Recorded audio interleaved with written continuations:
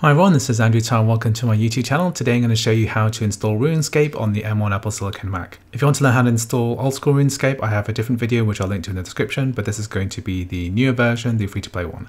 So I'm going to click here free to play now and we're going to log into this area. I already have an account, but if you don't have an account, then you can sign up for one here.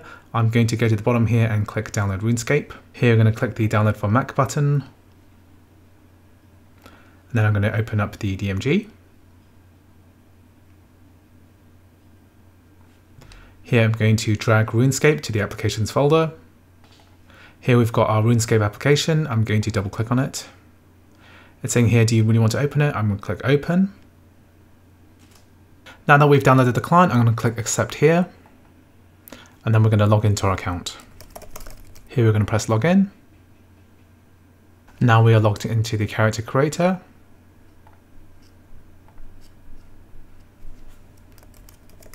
Now we're going to press done and we're going to enter the game.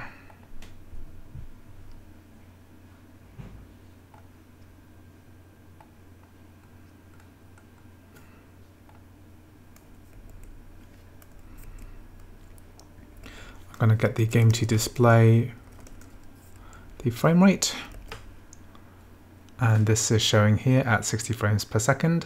Here we've got the RuneScape client. It is showing up as an Intel application, so it's running this through Rosetta 2. However, the performance looks pretty good from the starting area itself.